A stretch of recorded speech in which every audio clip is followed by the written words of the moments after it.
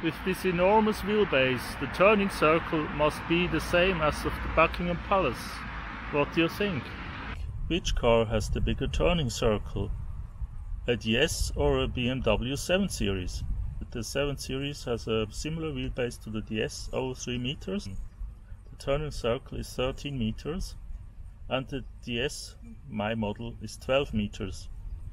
And uh, the olden ones with the smaller tires, they couldn't even do it in 11 meters. So, how can it be that the DS with a front wheel drive has a better turning circle than a rear wheel drive car? I first noticed this when I was driving around the parking structure.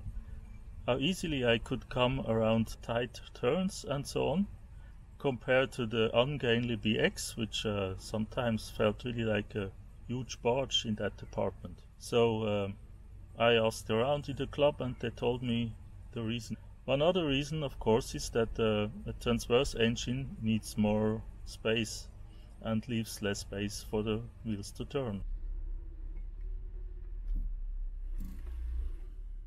Remember from my first video how effortlessly I drove into the parking garage, even avoiding an emerging car without missing a beat? Well, there you have it. And the secret is double joints. They allow a full lock of 45 degrees. Why are they so incredibly strong? I'll tell you in the next video. Thank you very much for watching. I hope you enjoyed this video. If so, please uh, give it a like and don't forget to subscribe. See you in the next video. Bye.